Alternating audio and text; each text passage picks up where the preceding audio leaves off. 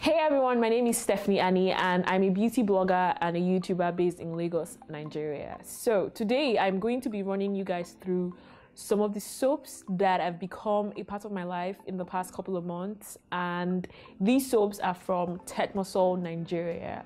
Now the first soap that I'm going to be talking about is the Tetmosol Cool Power soap.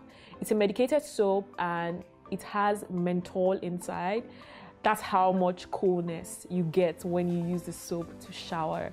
The next one I'm going to talk about is the Deo Fresh medicated soap from Tetmosol as well. And this one is almost like the last one that I just spoke about, but it's different because it's not as cool because it doesn't have menthol inside of it.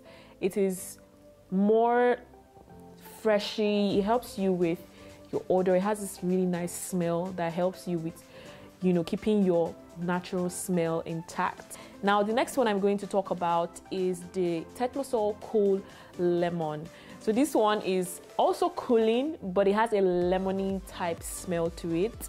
And that is what makes this one different from the Deo Fresh and the Protect Plus medicated soap. So this one just helps you with keeping the gems to protect your skin and helps to just keep your skin fresh as well. Last one I'm going to talk about is one that I love and I've spoken about this before.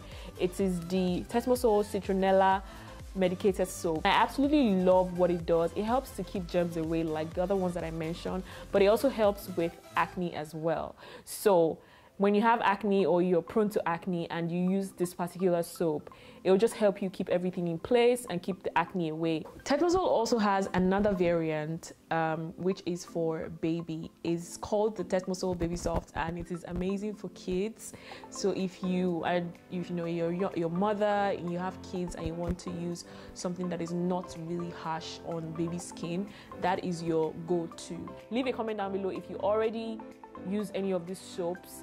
Share what your experience has been with Tetmosol.